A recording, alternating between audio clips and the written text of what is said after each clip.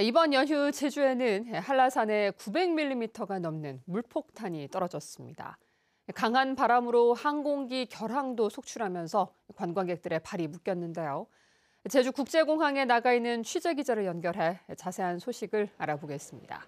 이따금 기자, 지금 상황은 어떤가요? 네, 제주에는 새벽까지 내리던 빗줄기가 잦아들었습니다. 호우와 강풍 특보도 모두 해제됐는데요. 그러나 어제 하루 비와 강풍으로 항공기 93편이 결항되면서 이곳 제주공항에는 제주를 떠나지 못한 체류객들이 이른 시간부터 몰리고 있습니다. 제주를 떠나는 항공권은 내일까지 매진된 상태에다 체류객도 만여 명에 이를 것으로 보여 불편은 하루 종일 계속될 것으로 보입니다. 일단 대한항공은 오늘 11편의 항공기를 임시로 늘려 운영하기로 했습니다. 다행히 기상 상황이 좋아지면서 항공기 운항은 조금 전인 6시 30분 김포와 김해행 항공편부터 정상적으로 이루어지고 있습니다. 제주 앞바다에 내려졌던 풍랑특보도 오늘 새벽부터 일부 해제돼 여객선도 정상 운항할 것으로 보입니다. 어린이날 연휴 동안 한라산에 900mm가 넘는 비가 쏟아지는 등 제주에는 물폭탄이 떨어졌습니다. 한때 제주시 용강동에서는 하천물이 불어나 70대 여성이 고립됐다 구조되는 등 119에 14건의 호흡 피해 신고가 접수되기도 했습니다. 제주 지역 날씨는 오늘 평년 기온을 회복하겠지만 일부 해상에는 최고 4m의 높은 물결이 일 것으로 보여 항해하는 선박들의 주의가 필요합니다.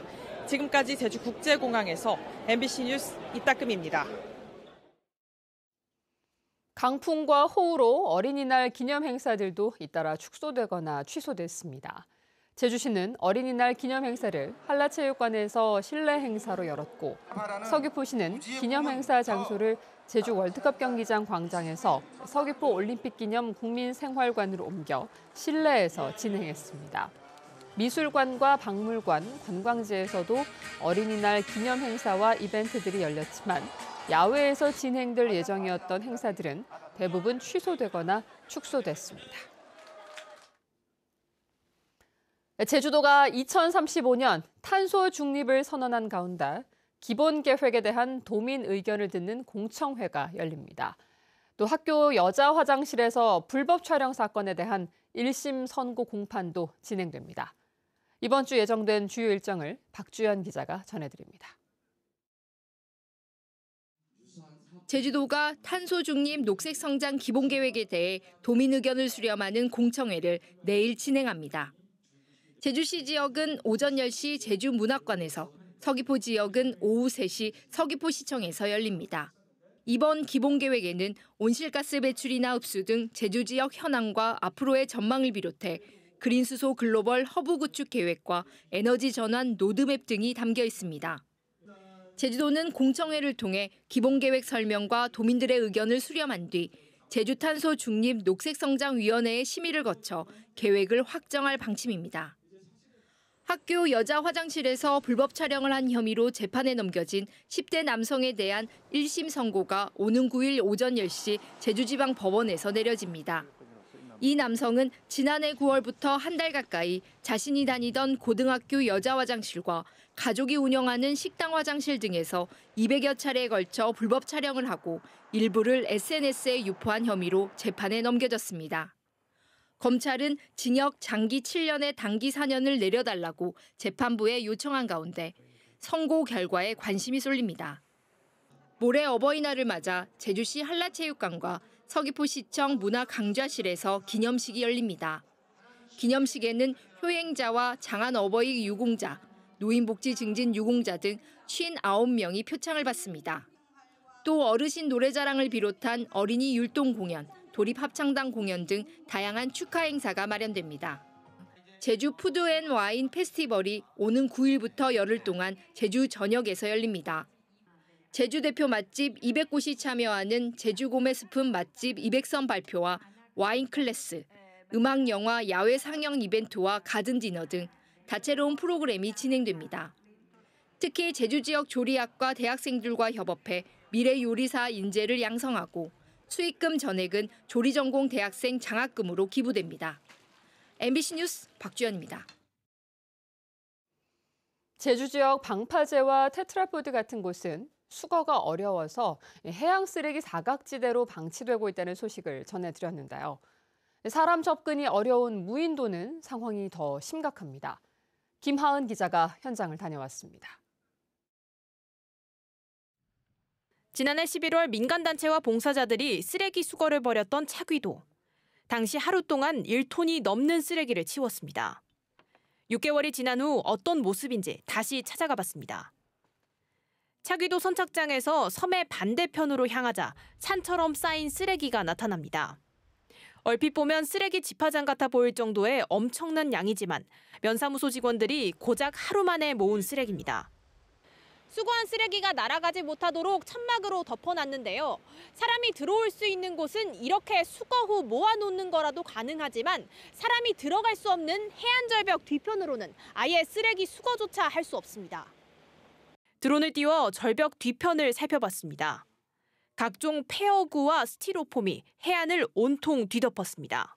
보트로 또 사람들 태우고 들어가서 수거해가지고 이제 또 줄로 이제 폰톤에 실어서 배로 땡겨가지고 배에 싣고 나오는데 굉장히 어려움이 많습니다. 그런 식으로 아니면 그 쓰레기를 어떻게 갖고 나올 수가 없습니다. 수거가 어렵다 보니 해안에 얼마만큼의 쓰레기가 쌓이고 있는지 알 수도 없고 그러다 보니 치울 계획을 세우는 건 엄두도 내지 못합니다.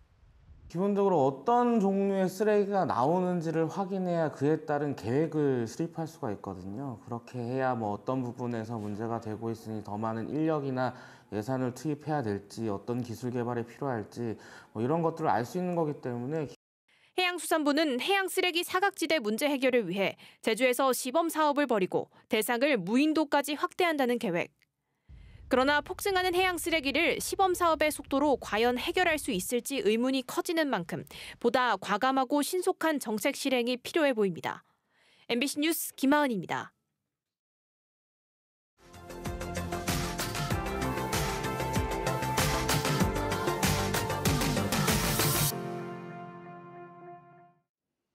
포항의 한 야산에선 때 아닌 벌채 작업이 논란입니다. 이 산은 여름 철새인 백로와 외가리의 서식지인데 새들의 배설물로 악취 민원이 잇따르기 때문입니다. 네, 그런데 새들이 알을 낳고 새끼를 기르는 번식기에 나무를 베어내 지나치다는 지적이 일자 포항시는 작업을 즉각 중단했습니다.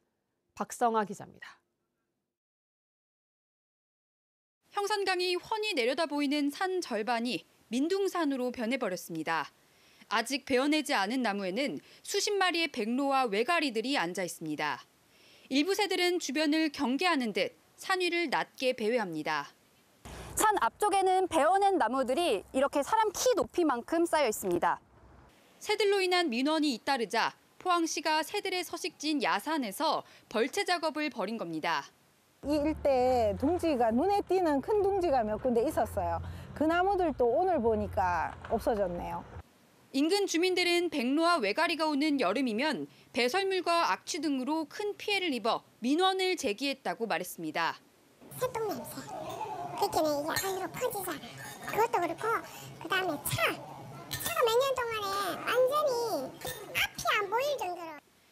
반면 일부 시민들은 벌목으로 인한 환경 파괴와 새들의 피해를 우려했습니다.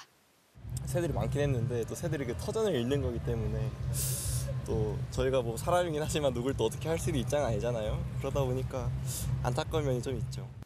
환경단체는 새들이 알을 낳고 새끼를 기르는 시기에 포항시가 새들의 삶의 터전을 파괴하고 있다고 비판했습니다. 주민 피해로 새들의 서식지를 옮겨야 하더라도 시기와 방법이 잘못됐다는 겁니다. 하필 이렇게 새들이 번식기에 전부 날아와서 둥지를 틀고 있는 상황에서 이런 일을 한다는 건 너무 잔인하고 무모하다고 생각합니다. 포항시는 번식을 미처 고려하지 못했다며 벌채 작업을 즉각 중단하고 번식기가 끝나는 가을에 재개하겠다고 밝혔습니다. 새 산란기 부분이 겹쳤으니까 그 부분은 저희들이 봤을 때 그걸 좀 진하게 하는 게 하는 게 맞다. 지나서 그런 부분에서 우리가 이제 긴급하게 환경단체는 벌채 작업을 재개할 시 피해와 범위를 최소화할 수 있도록 적절한 계획을 세워야 한다고 강조했습니다. MBC 뉴스 박성호입니다.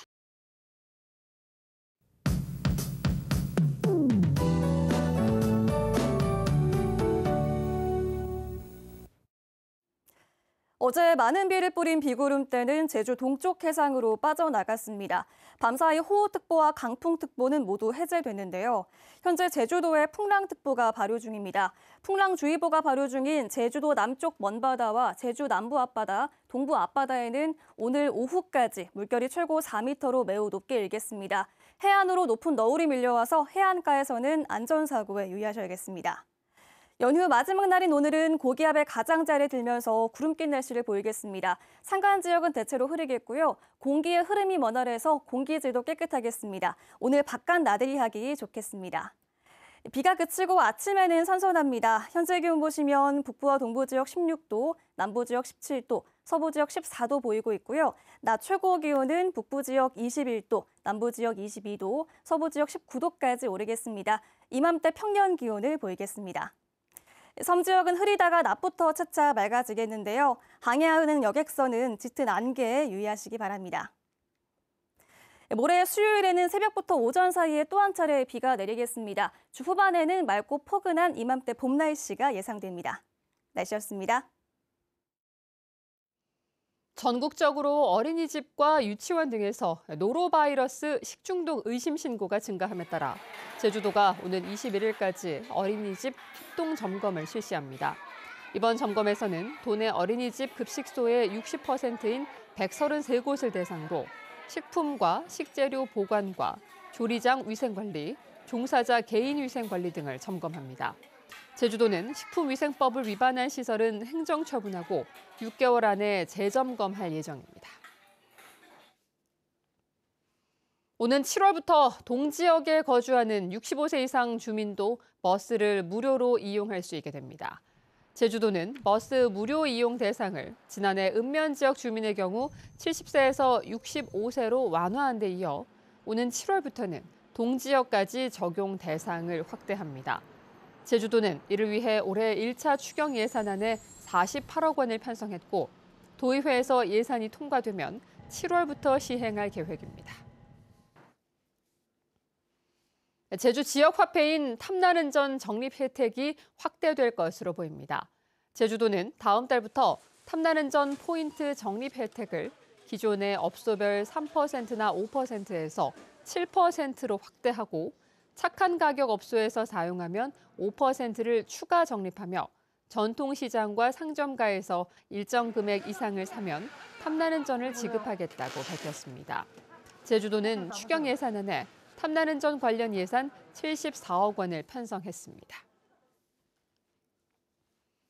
제주도가 도내 19살 이상 성인 5천 명을 대상으로 올해 지역사회 건강조사를 실시합니다. 오는 16일부터 두 달 동안 진행되는 이번 조사에서는 흡연과 음주, 비만과 걷기 실천 등 183개 문항을 보건소 조사원들이 1대1 면접 조사 방식으로 설문을 진행합니다. 조사 결과는 12월에 발표되며 제주도는 보건계획 수립에 활용합니다. 올해부터 중대재해처벌법이 5인 이상 사업장으로 확대됨에 따라 제주도가 도내 사업장들을 위한 무료 방문 컨설팅을 제공합니다. 컨설팅을 희망하는 기업에는 재해 예방 전문기관에서 사업장을 직접 찾아가 무료로 매뉴얼을 보급하고 안전보건관리체계 구축을 컨설팅합니다. 제주도는 전국 17개 시도 중 최초로 중대재해처벌법 기본 매뉴얼을 만들어 홈페이지에 공개했습니다. 제주도가 마을회관과 경로당 등 생활 밀접 시설에 대해 도민들이 신청하면 전문가들이 점검하는 집중 안전 점검 주민 신청제를 운영합니다. 신청은 오는 31일까지 읍면동 주민센터에서 받고 점검 대상으로 선정되면 6월 21일까지 전문가들이 점검하게 됩니다. 제주도는 교통과 상하수도, 숙박시설 등 446곳에 대한 집중 안전 점검도 실시합니다.